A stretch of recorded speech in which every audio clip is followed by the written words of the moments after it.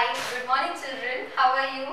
So today we will start with our grammar and composition. Okay, standard 4. Take out your grammar and composition textbook. Okay. In our in our last lecture, I taught you the second lesson. So today we will start with our third chapter. Okay, children, are you all ready? Yeah, very good. The third chapter is the subject and predicate. So children, each sentence have two parts. Okay, sentence is divided into two parts. One is subject and another is predicate. Okay, see here. Sentence is divided into two parts. Subject and predicate. Okay, children. Sentence is divided into two parts. Subject and predicate. So, what do you mean by subject?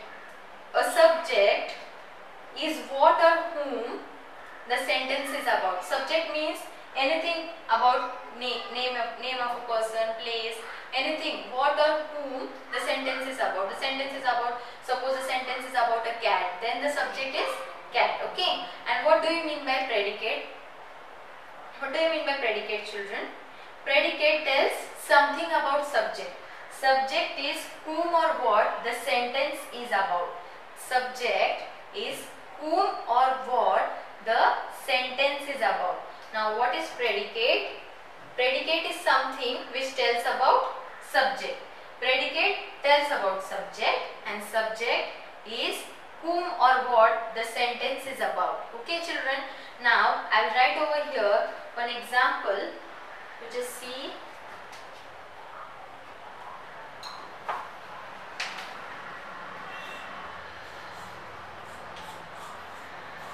the cat is sleeping. The cat is sleeping in the sun. Okay, children? The cat, the cat is sleeping in the sun. Now, which is the subject? The cat is the the cat is the subject. Okay. So I told you the meaning of subject.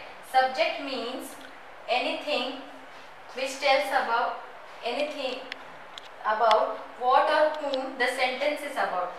So this is a sentence and what is your subject? The cat. The cat is your subject. Means about what the sentence is telling us? About the cat. So the cat is the subject. Now the rest of the sentence is your predicate. Okay.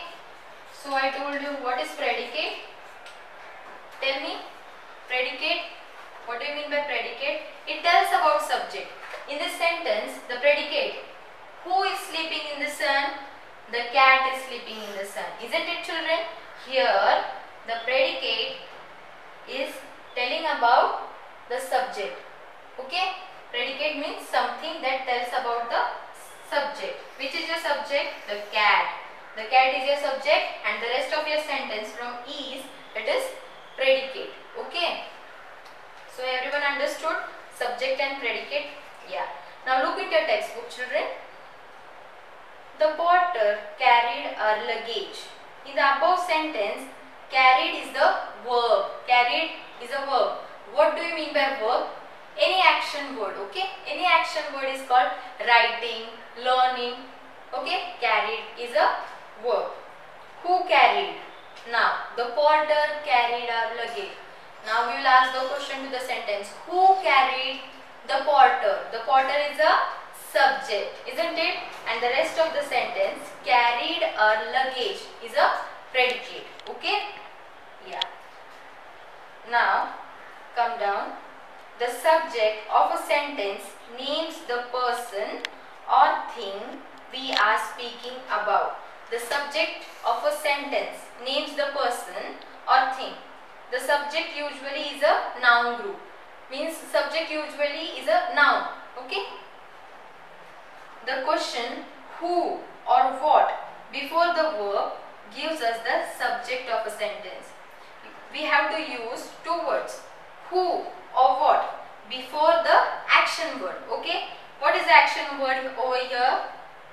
The port, porter carried our luggage. Carried, carried is our verb. So we have to ask who carried our luggage? The porter. We get the answer the porter. So it is a subject. Okay. The part of a sentence that tells us what the subject is or what the subject does is the what do you mean by predicate? Predicate is something that tells about the sub subject. Okay.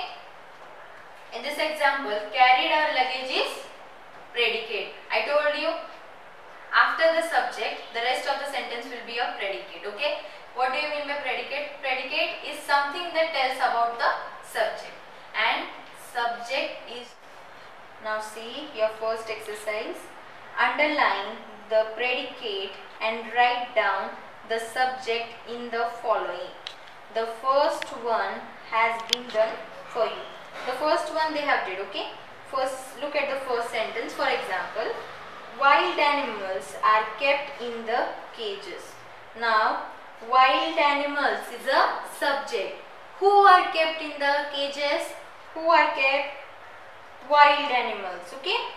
Wild animals is your subject and underline the rest as predicate in this we have to underline the predicate and write here subject okay children look here second rahul and usha are twins who are twins we can ask this question when we ask who are twins rahul and usha now these are noun. Okay. Rahul and Usha. These two names are noun. So it will be our subject. So write over here Rahul and Usha subject. Which we, which will you underline? Are twins is your predicate. Okay. Third one. Almost all birds build nest in trees. So you will ask the question who built nest who build nest in trees? All birds. All birds is your answer. Almost all birds. So what will be your subject over here? Almost all birds is your subject. So you have to write almost all birds is your subject. And the rest of the sentence build needs in nest in trees is your predicate. Okay. So underline build nests in trees. Now fifth one, the last. The Air India flight arrived on time. Okay. The Air India flight arrived on time. Now, which is your subject? Tell me.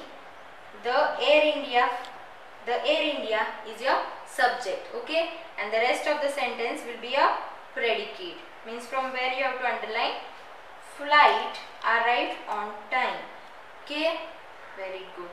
Now the second one, fill in the blanks with uh, suitable subjects or predicates.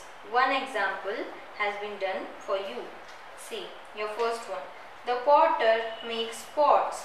Okay, this is a sentence and here suitable subject or predicate anything which we need to fill there you have to fill either it would be subject or it would be predicate okay now the second one our servant dash our servant is our subject. Now we have to fill our predicate. So what will you fill up fill up there? Our servant cooks food for us. Isn't it? Our servant cooks food for us isn't it? Yeah our servant is our subject. And predicate now we have to write over here. Cooks food for us. Okay? Yeah. Third one. Subject is missing and your predicate is dash must always do our best who should do our best we must do our best isn't it so you will write here we must always do our best okay we must always do our best. Now the fourth one, dash revolves around the earth. Who revolves around the earth?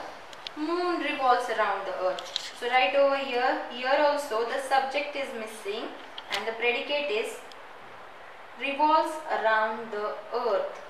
So right over here, moon. Okay. Now the last one, the fisherman dash what does fisherman does we have to write the fisherman is the subject and what will be the predicate catches the fish isn't it children? Yeah. So the fisherman catches the fish. Okay?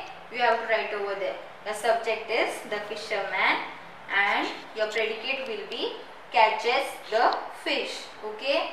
So we have completed our lesson. You have to just revise and write in your notebook. Okay